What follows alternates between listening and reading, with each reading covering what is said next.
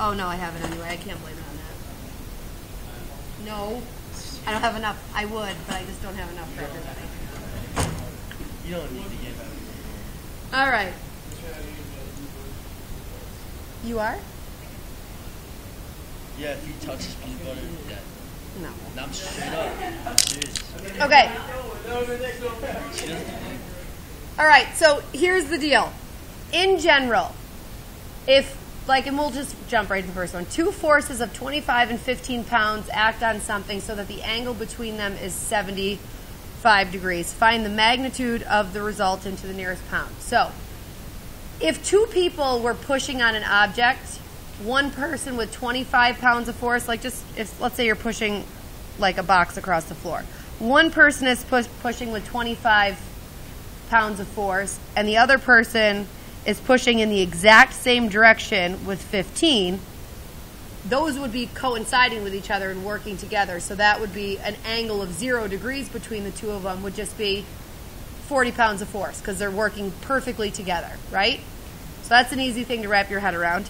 If we've got a similar situation and one person person is pushing with 25 pounds of force that way, and the other one is going in the opposite direction with 15 pounds of force, right, the 15 in one direction and the 15 in the other will cancel, leaving just 10 pounds pushing it in that direction. Okay? So it's easy to wrap your head around if they're perfectly working together or perfectly working against each other.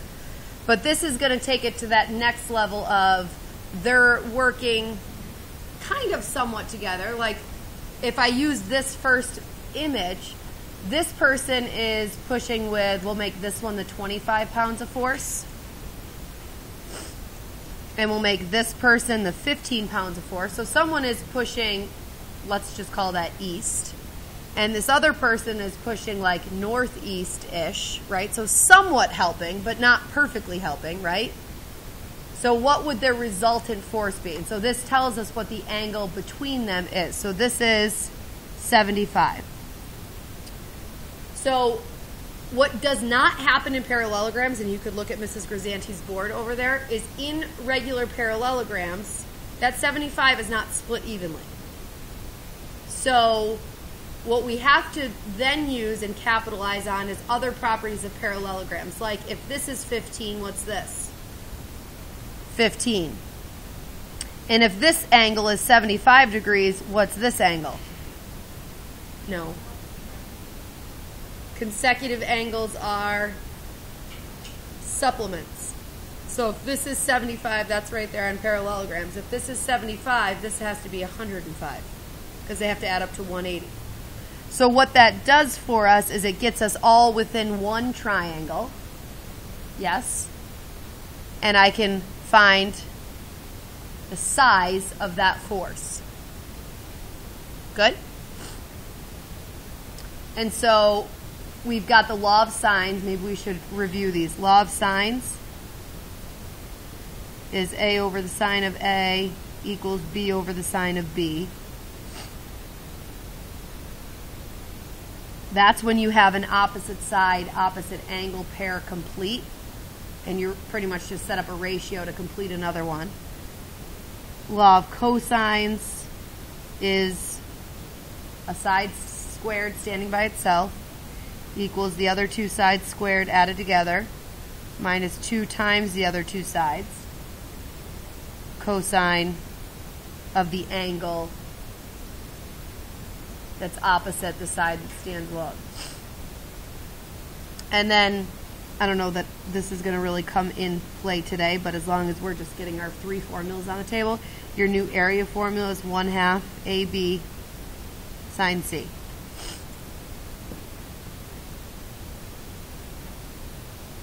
Okay? So parallelograms have a gazillion properties. The main one that we just used is that opposite sides are congruent. I hope you didn't do what I did and label this side 15 degrees because it's just 15. We also use consecutive angles, our supplements. And if we use any other properties throughout these three examples today, then we'll we'll add them to the list. But so in the triangle that we now have, after kind of translating some of our properties to get this triangle looking more complete, which equation are we going to have to use to find the missing side length? What'd you say, Andrew? We're trying to find the length of the resultant force. So here's one force working in that direction, here's another force working in that direction. What's the magnitude of the force when they're working together, even though it's not like perfectly together? Law of cosines. Anytime you have two sides and the included angle, and you're looking for that opposite side, or vice versa, you have all three sides and you're looking for the opposite angle, that's law of cosine stuff. So the side across from the angle we know is x, so that's the one that stands alone. That's like your c. So x squared equals your other two sides squared, 25 squared plus 15 squared, minus 2 times 25 times 15 times the cosine of 105 degrees. And this is an easier one to solve because x squared is already by itself. So I'm just going to type in this big number all in one shot. 25 squared plus 15 squared minus 2 times 25 times 15 times cosine 105. And this gives me x squared, 1044-ish. And then square root both sides. And we get 32.3. Connor, if you're listening, bring me an outrageous candy bar. No, JR, that wasn't very nice. 32.3. To the nearest pound, 32 pounds. So they're not working perfectly together because the maximum those forces could combine to is 40 if they were working perfectly together. But they aren't working opposite from each other. Like if this one's working perfectly east and this one's a little bit northeast, at least there's a little bit of east coinciding there. And so it's a little bit more than just the one person working by himself. Does that make sense? Okay? All right. Um, and just out of curiosity, which angle is going to win out? Like, if, um, yeah, I, I don't know how.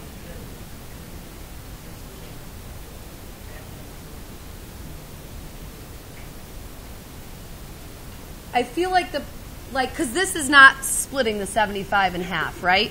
So if, if one was, if they were exactly the same, exact, that's a great way of phrasing it. Say that again. Which way is the resultant going to lean more towards? Because if they were the exact same force, and this is why rhombuses and this is why squares do bisect the angles. Because if they're the exact same force, then the resultant is going to be halfway in between and it will cut it in half. But if this one is pushing further and that's 25, this resultant is going to lean more towards the person that's pushing harder. Does that make sense? oh, come on. A rhombus is like a slanted square. But I. Yeah, it's on the board.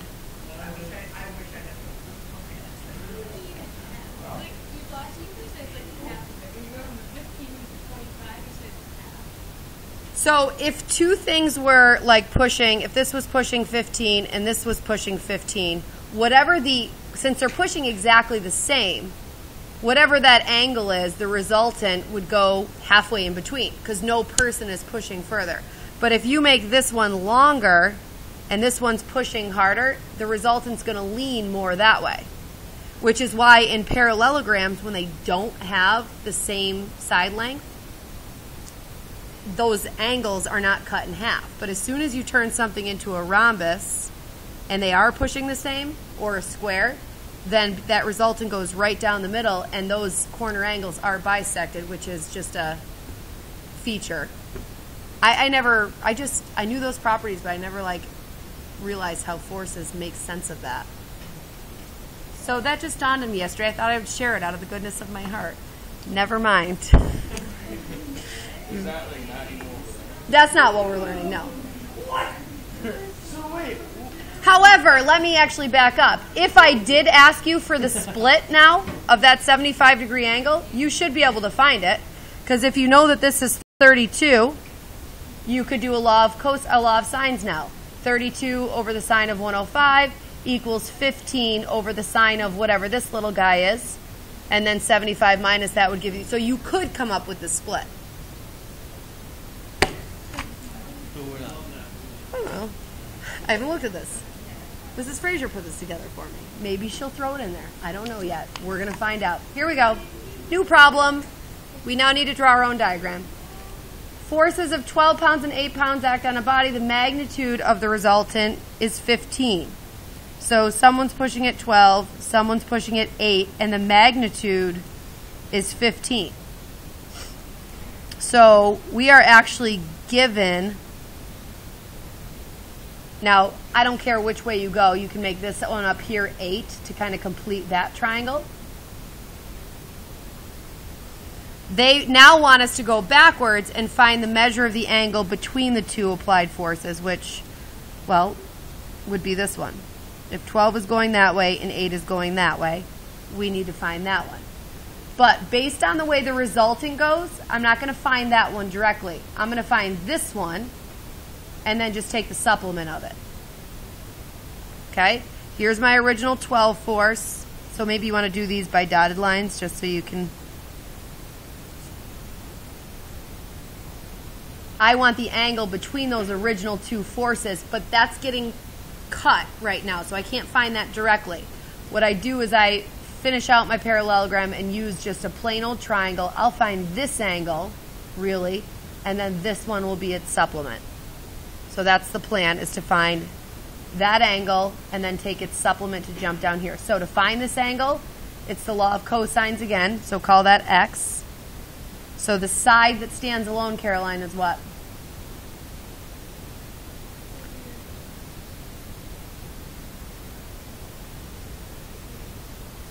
If I'm looking for this angle, so I'm going to be looking for c in the law of cosines, what is the side that's by itself on the other side?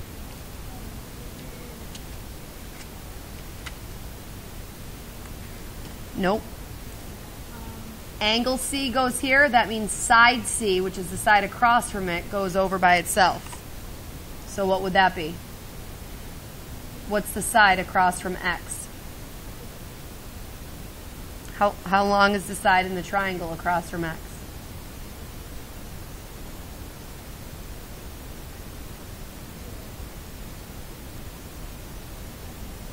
Here's the angle. I'm going to go across from it. What's the length of that side? What'd you say? I think you said it. 15. So that's the one that stands by itself. 15 squared equals 8 squared plus 12 squared minus 2 times 8 times 12 cosine x. So again, kind of like the way we just solved that one on our homework. We, we're going to subtract the 8 squared over and subtract the 12 squared over. So 15 squared minus 8 squared minus 12 squared gives you 17 on the left. Your coefficient on the right is 2 times 8 times 12, and it's negative. What is it? Negative 192 cosine x. We divide over the negative 192. And it's negative 0.0885-ish. And we do inverse cosine of that number. So it's a 95-ish. Does it say the nearest angle? Yeah. So it's a 95. This one is a 95 degree angle. So the force between them, which is a, the consecutive angle in the parallelogram, if this one's 95, what's the supplement? 180 minus 95, which is 85, you said? 85 degrees.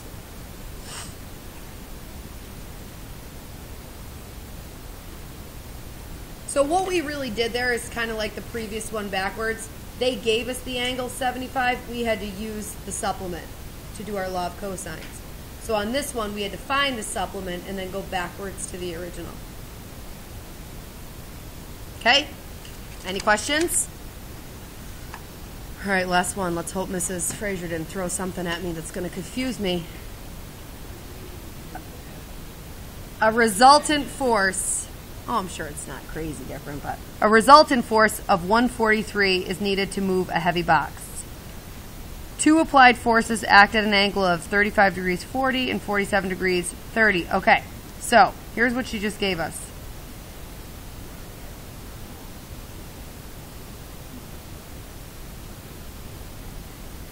She gave us that the two applied forces, this bottom one will be force one and the top one will be force two. She gave us that one of those angles is a 35 degree 40 minute, and the other angle with the resultant is the 47 degree 30 minute, and the length of the resultant, thank you, is 143. So if you're to like use a dotted line to complete out your parallelogram, what is this total angle?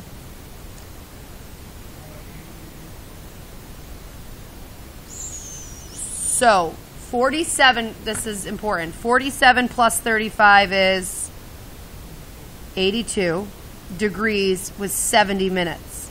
But every 60 minutes is an additional degree. Do we make sense of that? So 60 of those 70 minutes becomes a, an, an additional degree of 83 degrees with 10 minutes left over. So if that's 8310, what's that? What's the supplement? So I'll do 180 minus 83 and 1 sixth, kind of. Right? 10 minutes out of 60 minutes is 1 sixth. So 180 minus 83 and 1 sixth. If you're doing that, make sure 83 and 1 sixth is in parentheses. Because that's 10 minutes out of 60 minutes. So 10 sixtieths is 1 sixth. So this angle is 96 and 5 sixths. Really?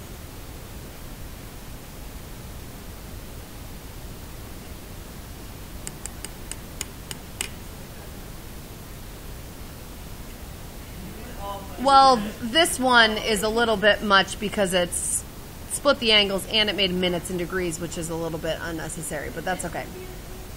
Hmm? Well, it can be. I don't know if it is. All right. Um, so, what are they asking us for? Find to the nearest pound the magnitude of the larger force. So, just the concept that I brought up earlier if this angle is the smaller one, then the larger force is this one. Yes? It's the one that it got, the larger force pulls this resultant down more towards it. So this is my x. And I can, I do have an opposite angle, opposite side option. So I should be able to do the law of sines. The only issue is, so it would be 143 over the sine of 96 and 5 6 equals x, which is the side I'm looking for, over its opposite angle, which I have to figure out. Just because this one's opposite angle is actually over there. So that's just adding them up to 180. So right now, 180 minus 35 and 2 thirds because that's 35 and 2 thirds, minus 96 and 5 sixths, leaves you with 47 and a half degrees. So the sine of 47.5. And then just cross multiply. So yeah, the minutes and the minutes and the seconds make that one nastier than it really needed to be. I was doing really well in physics today, and I realized I was just straight up. I don't want to muffin, but thank you. Very sweet. throw it out? I was gonna say this. No, I was gonna say.